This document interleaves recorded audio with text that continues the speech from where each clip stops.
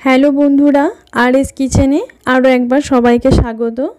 আজ আমি বানাবো ফুচকা একদমই দোকানের স্টাইলে। কোনো সামান্য উপকরণ দিয়েই এই ফুচকাটা বানিয়ে নেব, কোনো ঝামেলা ছাড়াই।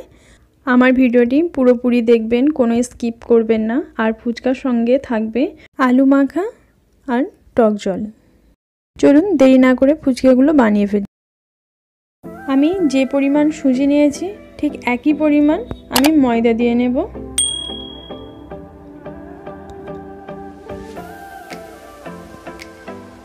দিয়ে দেবো এক চিমটি খাবার সোডা। সোডাটা বেশি দেওয়ার প্রয়োজন নেই। এই সব উপকরণ হাতে করে ভালোভাবে মিক্স করে নেব। এটাতে কোনো লবণ দেওয়া যাবে না।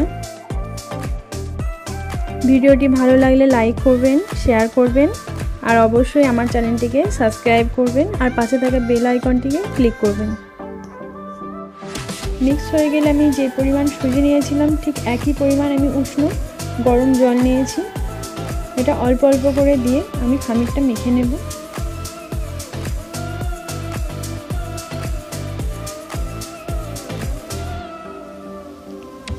খামিরটা নরম করে মাখতে হবে, কারণ সুজিতে জলটা টেনে যাবে। খুব ভালোভাবে ময়ন দিতে হবে। তাতে করে ফুচকাটা খুব ভালোভাবে ফুলবে। মুচমুচে হবে।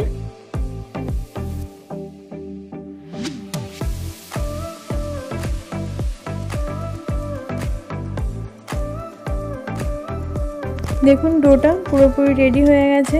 আর আমি যতটা জল নিয়েছিলাম, এতটুকু বেঁচে গেছে। এটাকে এবার আমি পনেরো মিনিটের জন্য রেস্টে রাখব।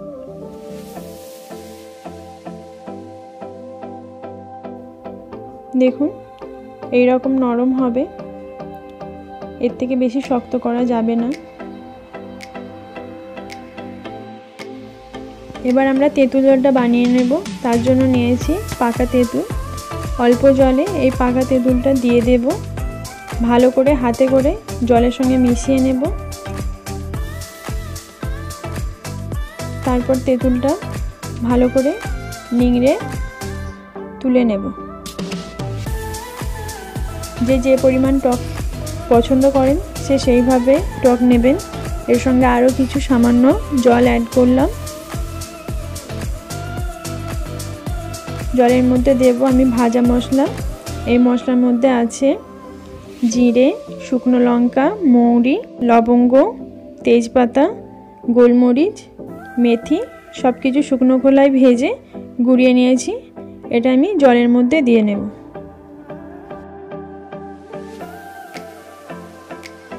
দিয়ে নিলাম। জলজিরে পাউডার, বিট, লবণ, ধনে পাতা, কুচি, লেবুর রস সব কিছু ভালো করে একসঙ্গে মিশিয়ে দেব। জলটা আমাদের রেডি হয়ে গেছে। একদম দোকানের মতো জল। আলু মাখার জন্য আমরা সিদ্ধ করে আলু নিয়েছি। আলুটা মেখে নেব। ভিডিওটি স্কিপ না করে পুরোটা দেখবেন। বাড়িতে অবশ্যই বানাবেন। দেখবেন একদমই দোকানের মতোই স্বাদ পাবেন। দিয়ে দেব ভাজা মশলা, লবণ, পেঁয়াজ কুচি ভালো করে একবার মাখিয়ে নেব। ভিজিয়ে রাখা মটর, বাদাম শশা কুচি, গাজর কুচি, সব ভালোভাবে মাখিয়ে নেব।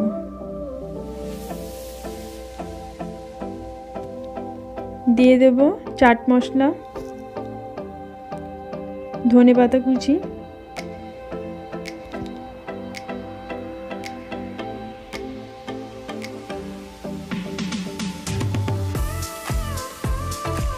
একটু টক জল এর সঙ্গে অ্যাড করে দিলাম। এটাকে ভালোভাবে আরেকবার মিক্স করে পারফেক্টলি আলুটা মেখে নিলাম। আলুটা রেডি হয়ে গেল। এবার আমি ফুচকার জন্য ডোটাকে আর একটু ভালো করে ময়ন দিয়ে নেব। অনেকটা শক্ত হয়ে গেছে। আমি এটাকে দুটো ভাগে ভাগ করে নিয়েছি। এটাকে পুরো পরোটার মতো রুটি বেলে নিতে হবে। আপনাদের যদি প্রয়োজনে ময়দা লাগে, সেটাতে আপনারা ময়দা দিয়ে নেবেন। এরকম একটা শেপ কাটার দিয়ে আমি ফুচকাগুলোকে কেটে নিলাম। আপনাদের কাছে শেপ কাটার না থাকলে গ্লাস কিংবা অন্য কিছু দিয়েও আপনারা এইভাবে গোল গোল করে কেটে নেবেন। ছোট ছোট বল বানিয়ে সেগুলোকে বেলে নিলেও হবে।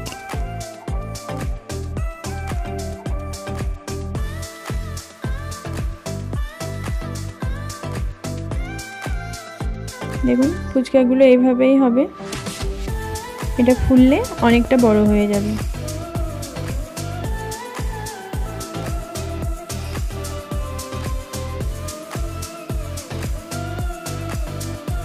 কড়াইয়ে তেল গরম হয়ে গেছে, এবার ফুচকাগুলো আমি দিয়ে নেব।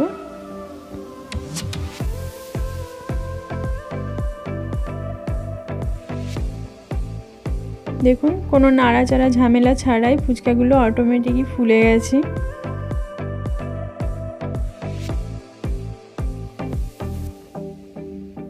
ফুচকাগুলো খেতে একদমই দোকানের মতোই হবে। আপনারা ভিডিওটি স্কিপ না করে পুরোটা দেখবেন।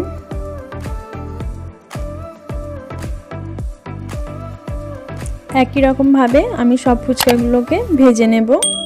আপনারা বাড়িতে অবশ্যই এটা বানাবেন। আমাকে কমেন্ট বক্সে জানাবেন। এমনকি আরও কোনো রেসিপি দেখার ইচ্ছে হলে সেটাও আমাকে কমেন্ট বক্সে জানাবেন।